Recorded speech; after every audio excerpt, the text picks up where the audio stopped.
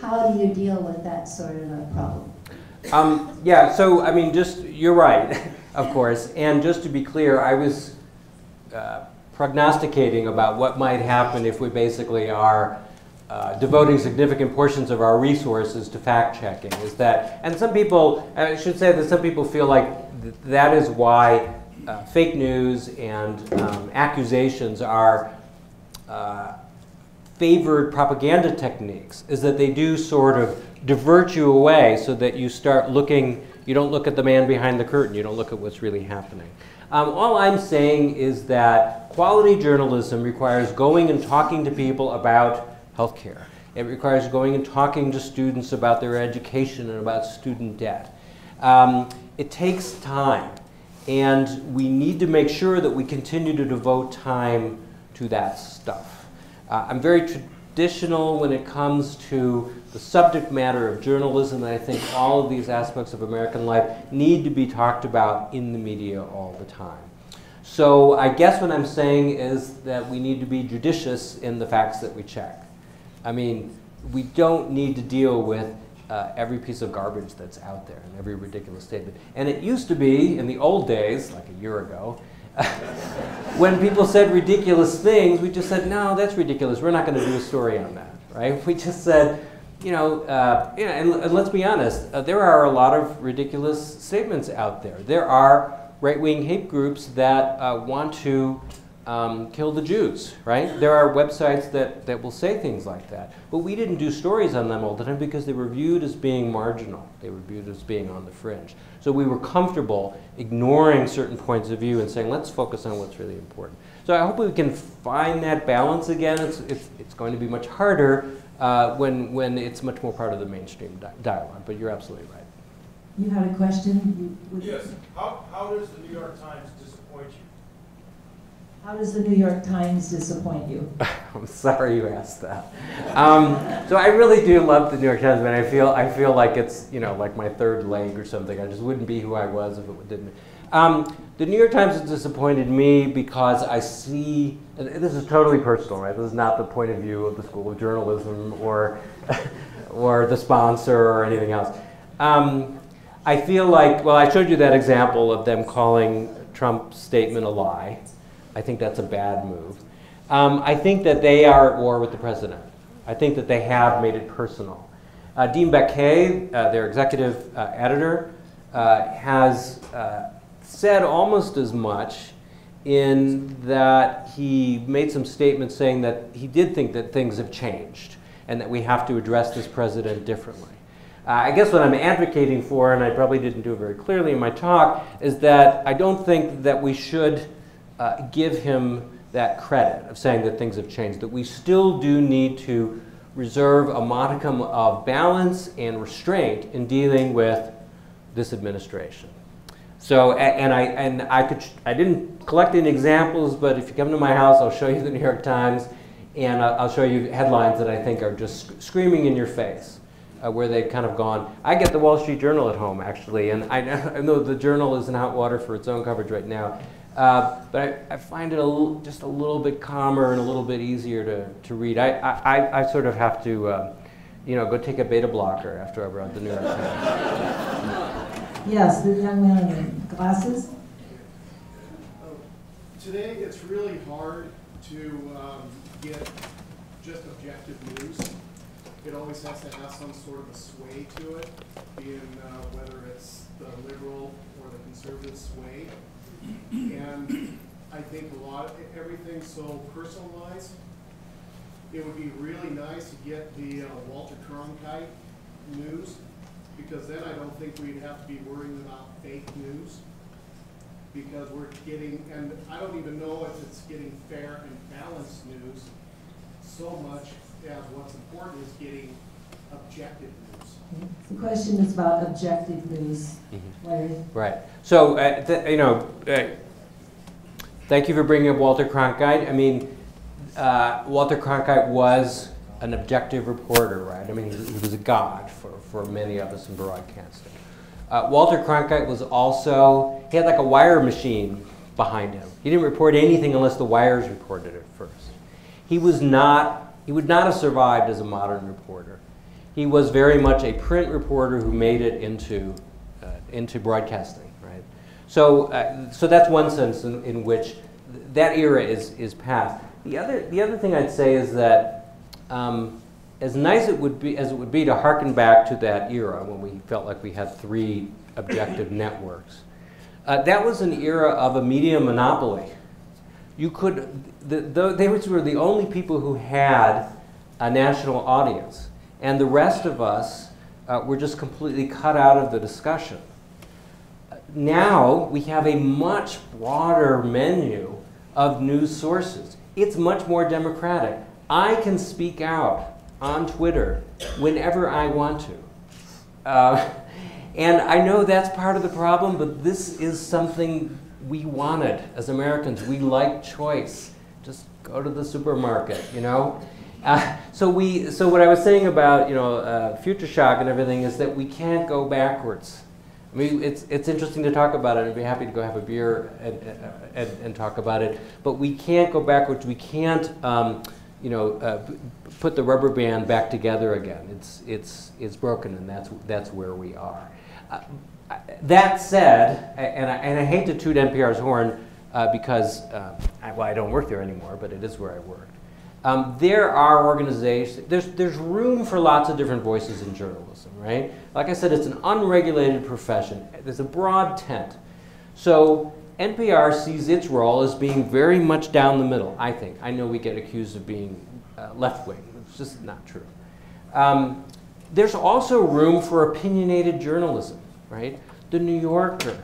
Um, you know, we had the, new journalism, Hunter Thompson. We had lots of people out there who had a very distinct point of view. There's always a need for these other voices, and often they tell you a part of that truth that you don't get from the objective news. So I would say that there are sources of objective news out there. Today, in contrast to Walter Cronkite's day, you can go to the government website and read the stuff yourself, right? That is, that is one of the things people forget about the information world is that the, the government and any advocacy group can command an audience. That did not exist when I was starting in journalism, right? You, would, you were basically uh, in thrall to the TV networks.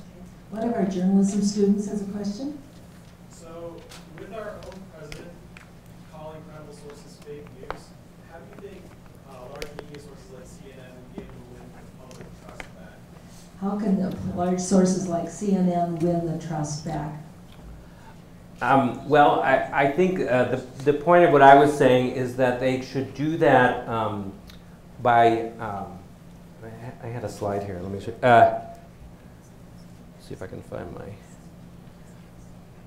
Why say it when your PowerPoint can say it for you, right? Um, here it is. I skipped this slide. Message to yourself: Do your job. And this is an article by a guy in this Columbia Journalism Review uh, by Jack Shafer. Um, put on your big boy pants, journos. That um, do the do the best job that you can. CNN can do that, uh, and they should do that more often. Okay.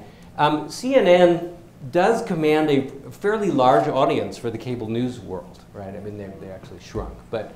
Um, so that's evidence that they are still important. They still have the trust of some people. It's just that a lot of the rest of us, you know, choose not to watch. Um, you know, we in journalism today, we have to be mindful of our audience. We, if you don't get readers, if you don't get viewers, you don't exist. You don't. You will not stay alive, and you don't have an impact. So you do have to attract people's interest, but you have to do that by sticking to the tremendous principles of uh, journalistic ethics that you can learn at the UM School of Journalism. Seriously, that, that's how that works. Is that you're you're you're pulled left and right. Uh, Jim can tell you every day in his newsroom. I'm sure somebody in his newsroom is pushing somebody to do a story that they think will get some eyeballs, and somebody else is saying, "No, no, we need to do the responsible thing." That's what the profession's about. That if if you get into journalism, that's what you'll get. That and that's what's fun is that you get to have that. You get to participate in that decision-making process. Um, so just do your job. Fred, Ashley? In the beginning of your presentation, you talked about good journalism makes you think. today when you watch whether CNN or Fox News, you've got a panel of analysts, and by the time you're done, it's made you think. Right, They're, they're made you think about what they're thinking. That's their base. right. And so, one of our challenges, and I'd like to respond to this, is America has become lazy and we're not critically thinking about the consequences of what's being discussed. We just look at our own channels, and I'll add one more thing, I watched, uh, I'm a news junkie. I was watching, uh, President Trump's presentation, and he was real angry at the tone of the mainstream Yeah, media. yeah. And what, what, what, what that's all about is he didn't like what the mainstream, mainstream media was saying, but he did like what Fox News was saying. Yeah. So it was his base versus the mainstream media's base. And so there again, Right. he, You're- he said we're so divided. Right. So, so you're absolutely right that putting a bunch of talking heads on the air and letting them shout each other isn't really journalism. It's entertainment, and I guess if you have 24 hours a day to fill, thank God I don't have 24 hours a day to fill. Uh, I guess you have to do some of that stuff. Um, but I would say that if you that's what you see on CNN and it makes your blood boil, go somewhere else. Go find a source of news that you trust, and I guarantee you, if uh, I will sit down uh, at the sip and dip with you and we'll surf together and we will find a source of news that you like and you find informative and that you can trust and that will make you a better person. I'm just saying we're segregated, and, and you talked about that. We're, and that's what's divided, that's, we're Ah. watching our own news sites, and therefore forevermore, we're not gonna be unified. Right. But I can only uh, give you the advice of find something that you love. I guarantee you it's there. Okay. We have two hands, we'll take the one in the back and then we'll take Ray Young, okay? As we wrestled with the uh, fake news uh, problem and so forth, uh, one of the backdoor blessings that I have uh, begun to observe, and I don't know how extensive it is, is I found myself for the first time uh, in my adult lifetime fact-checking everything I uh, heard at the RNC and DNC conventions. Uh huh. There weren't any facts. A lot of spin. Yeah. Coming out of that, I uh, found myself um, beginning to search out different websites that carried news, Wired did, BuzzFeed, some others. And I got into a conversation with my daughter about this. And I said to her, I said, where do you get your news? Mhm. My daughter's traveled some and she's trilingual. And she was getting her new- news out of Mexico City's major newspaper. South Africa's major newspaper was including The Guardian and Canadian Broadcasting Mhm. Corporation, uh, along with uh, websites that she had discovered had some integrity as far as she was concerned. The- I think that's a backdoor blessing Yeah. Yeah. that we are pushed to uh, explore where, where news sources are that can reflect against each other. Well, good for her. You know, again, go out and find, even if you have to go overseas, uh, uh, you know, via the internet. I think that's that's a great thing. Uh, the internationalization of the news world is a potential uh, boon from all of this. That it's so much easier uh, to get uh, news about other countries and from other countries about the United States now than it used to be. Um, so uh, yeah, I would encourage, I would certainly encourage uh, young people to go look at other websites. Uh, speaking another language really, really helps. And uh, the, the world is more complex. We should, you know, that's the thing that amazes you when you go travel to other countries is you realize, gosh, they don't like us here, or, or they, they have a very different view of the world than we do. So, uh, bravo. Ray Young. Yes, uh, you kind of touched a little bit on it, but I would like you to uh, maybe explain a little bit of this for those of us who maybe worked on school newspaper somewhere. But at NPR, when a story came in from a reporter, what happens to it in terms of the process before it gets on the air? Uh, I don't think all of us appreciate the vetting that's going on and and you alluded, alluded to it a little bit, but I appreciate you talking about how does your story get into the, onto the air? Uh, sure. and this is echoed in a lot of news organizations. It's different in every news organization. Like I was saying, each news organization is unique. You know, it's, uh, uh, so uh, a lot of story ideas uh, came from me, the reporter, because the presumption at my organization was you, you're on the ground, you're at the Pentagon, in the public schools, uh, at uh, the Federal Communications Commission, wherever it was, you're there, you know what's going on. So good news organizations, I think, are reporter driven. They listen to the reporters, and the reporters are listening to the people. They're out talking to people all the time. Um, a lot of ideas came from me, but uh, quite frankly, a lot of them would come from my editors saying, "We're hearing this." You know, they're, they maybe are listening to other media all the time. So we talked, and that's what most of the journalistic editorial process is about: is talking and trying to figure out how the scrutiny that your editor's bringing and your desire to do a story can mesh, uh, how the concerns of other people in the building who might bring a different point of view. And again, hopefully you have a diverse newsroom. And, and uh, all things considered might have said to me, usually what they said to me was, that's great, but can you tell that story in three minutes? You know, right? Like that was that was a real concern is space. You know, well, yeah, I know you want to do a five-part series on the salmon migration, but we've only got three minutes to fill. Um, so you fought it out most of the time, and this would go on sometimes for minutes for a daily deadline, and sometimes for days or weeks for longer projects. Uh, we would argue with one another, and uh, you know, um, Ira Glass uh, was at UM a year ago, and he talked about the fact that it's quite a luxury that they have at their organizations because they have a long deadline. Every time they play a story, so they would run through the story, the radio story, they would play all the sound, they would uh, read the script.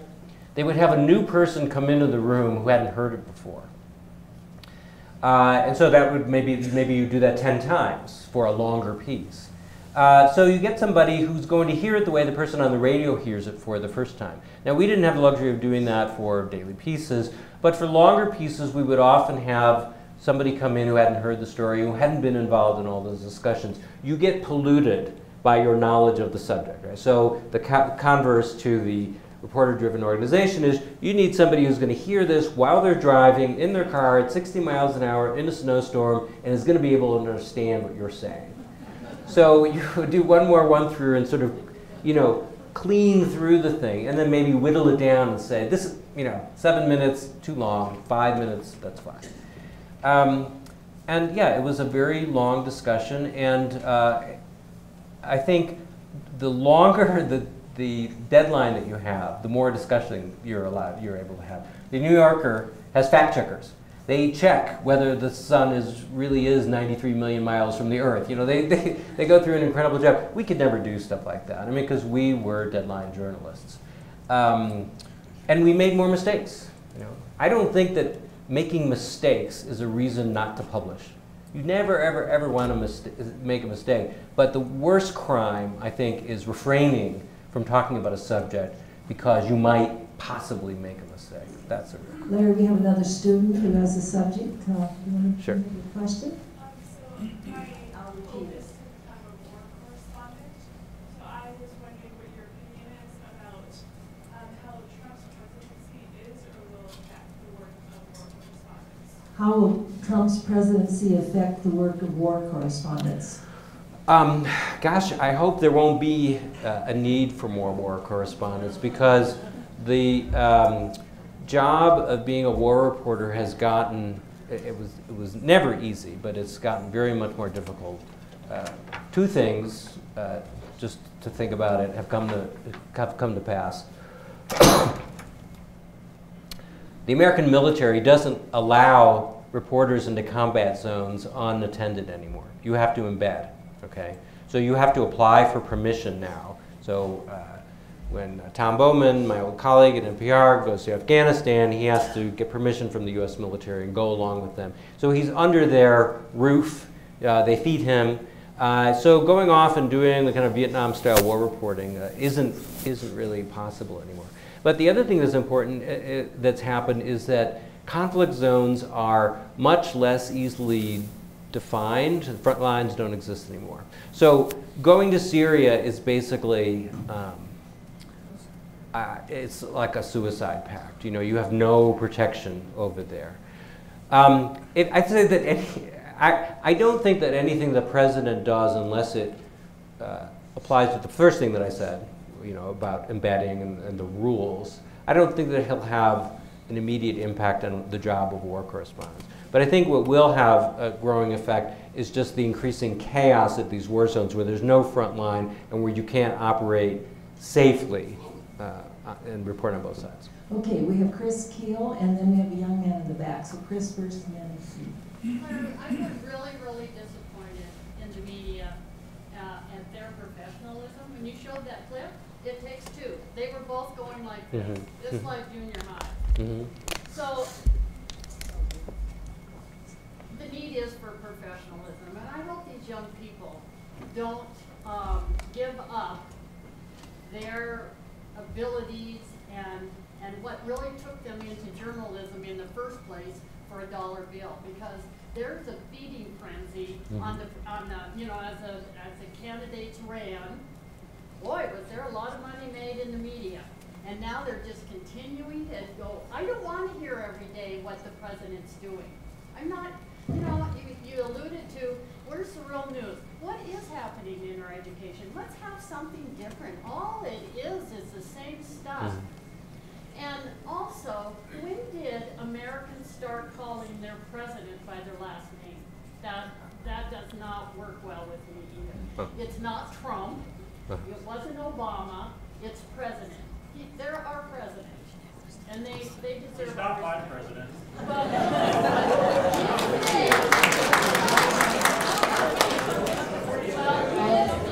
So, so uh, I can I can speak to the the last thing that you brought up, which is that uh, that's more of a usage question. So we used to have a rule at NPR that it was always President Bush, President Obama, and then we um, you could not say Obama. It always had to be the president or President Obama, and that didn't go for any other person on the planet. So, well, uh, so we changed that, and I wasn't part of this decision. Uh, to, and I think the sensibility was that there, uh, he, he's a he's a man, or maybe someday it will be a woman.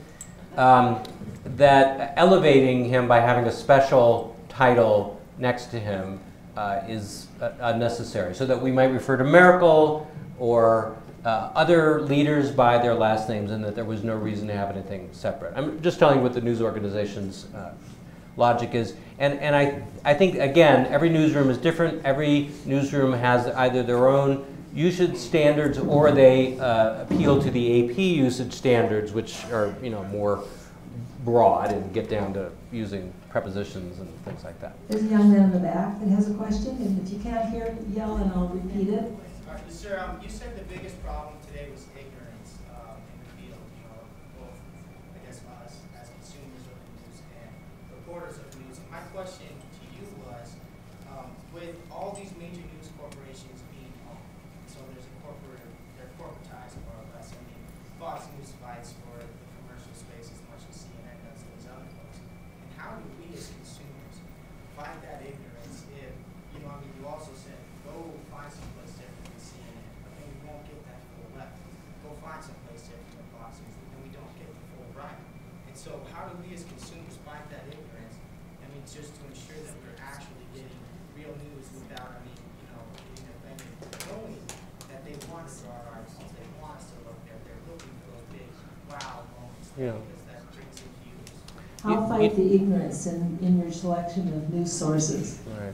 So, you know, um, uh, commercial considerations are not new uh, to journalism. Uh, the Great Falls Tribune is a profit-making enterprise, at least I hope. Uh, it's a profit-making enterprise, and uh, any newspaper or news organization that doesn't worry about the bottom line uh, won't be around for very long. So th- that's part of our life. Uh, even NPR has to worry, uh, which is non-commercial, uh, has to worry about whether or not people are reading it because uh, the member stations that pay for the, the, the systems are, is still based on on, on attention. I don't have any problem with that. Uh, that's why we have journalism schools, journalism organizations to try to make sure that ethical standards uh, re remain high. Um, you know, I, I, think that becoming an educated individual is a lifelong struggle. I think we all uh, trying to become uh, what in my culture we call a mensch, meaning you're a considerable, it means a human being. I'm Jewish, this is a Jewish expression, meaning you're like a real deal human being. You're, you're fully formed,